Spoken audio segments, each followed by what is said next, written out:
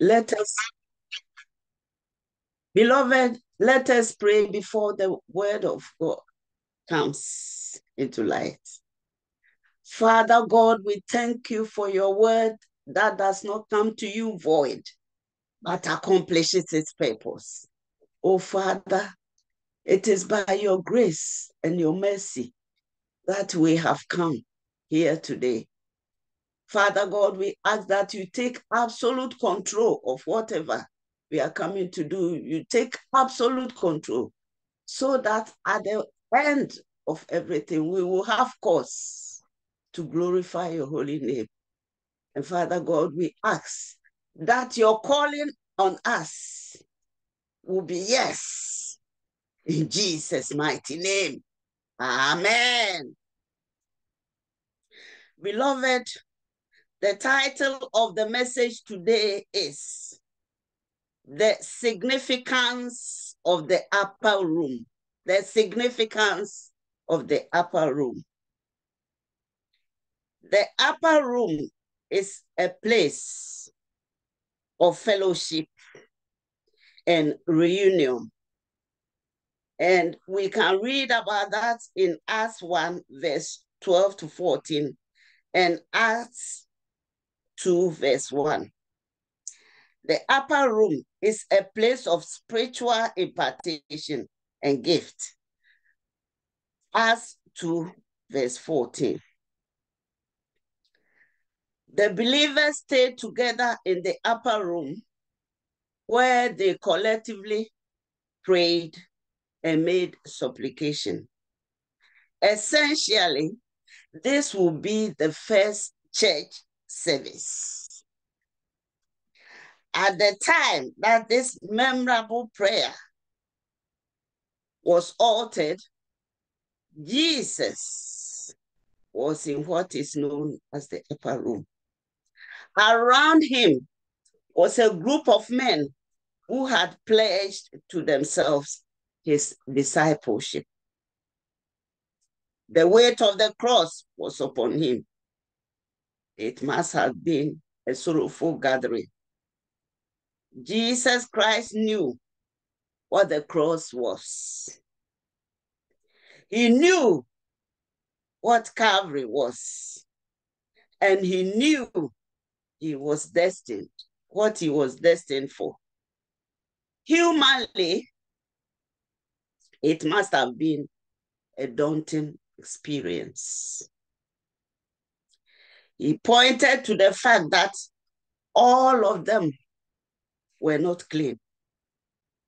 He said one of them would betray him. He might have been sorrowful as he had called them his friends. Beloved, this is a lesson to us all. If anybody will come into your life and torment you, it is people that you are close with, your family members. So Jesus knew at this point that the one who was going to betray him was close to him. And at the time that he was about to introduce to them what is known as the Last Supper, he said, One of you will betray me. He brought them into the deeper side of his friendship. And yet, there were those among them who were weak. There were those among them who were fickle. There were those among them who were inclined to desertion. But none of them had the slightest idea who will betray our Lord. And when Jesus identified the betrayer proverbially, they did not understand him. Judas Iscariot, the betrayer, had no inclination of repentance upon identity and still went ahead to do what he intended to do. Beloved, I feel in my spirit that Jesus was talking and praying with his disciples for that lengthy time to give Judas a chance of repentance. But Judas made no such thing as repentance. He even went out there and betrayed our Lord with a kiss and took 30 pieces of silver. God does not impose salvation on us. He rather give us the chance to do so ourselves. Jesus then went ahead and washed the disciples' feet. And when Peter objected, Jesus said, Unless I wash you, your feet, you have no part with me. When the twilight of his life was drawing to a close, and at the tender age of 33, he said, Father, glorify me. He also requested his father to glorify him so that he may also glorify those whom he had given him. He asked the Father to give them from the evil one and to sanctify them by the truth, which is his word. He applies this same prayer to believers in all ages, saying, I do not ask for this only, but also for those who will believe in me through their word. Father, I recognize the fact that the hour has come. Glorify those through me and make them one. If Christians need a prayer of togetherness, this is the time.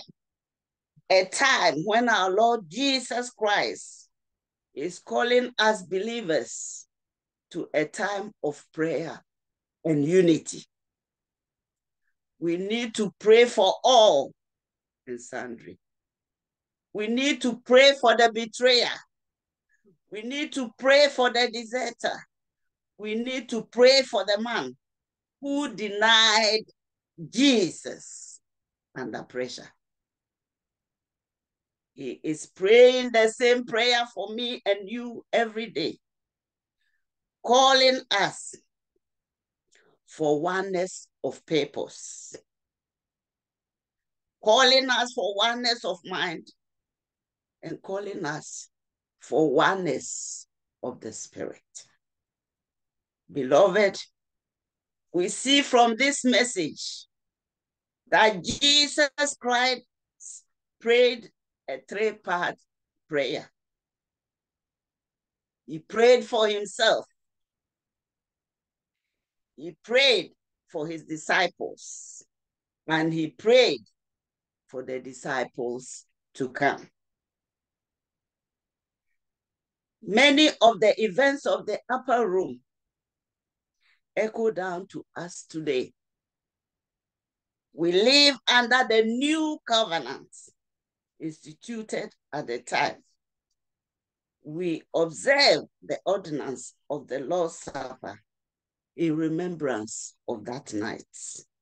And we can read about that. It is important to read about this from First Corinthians 11, verses 23 to 26. And we live under the blessing of his prayer for all those who love and follow him. The early apostles and believers paid dearly for their faith in Jesus Christ. There were those who, under pressure, refused to give in and go free, preferring something better, which is the resurrection. Yes. Others braved abuse and whips, and yes, chains and dungeons. There are stories of those who were stoned sawed into two, murdered in cold blood. Stories of fragrant wandering the earth in animal skins, homeless, friendless, powerless, making their way as best they could on the cruel edges of the world for the sake of the gospel of Jesus Christ. Beloved, what sacrifices have you made in life for the sake of the gospel? This is a question to ask all. This is a question for all of us. What sacrifices have you made for the sake of the gospel? I leave you to ponder over this this new year. May the precious blood of Jesus Christ speak on our behalf. In the name of the Father, the Son, and the Holy Spirit. Amen. Beloved, let us bow our heads whilst I pray to conclude the message. Father God, we thank you for your word. Father God, touch our hearts through this and let us ponder over it as we go our separate ways. Let us remember the, the death of Jesus Christ and take it upon ourselves to emulate what the Lord did through the shed blood of Calvary. Thank you, Father. Thank you, Son. Thank you, Holy Spirit. Amen.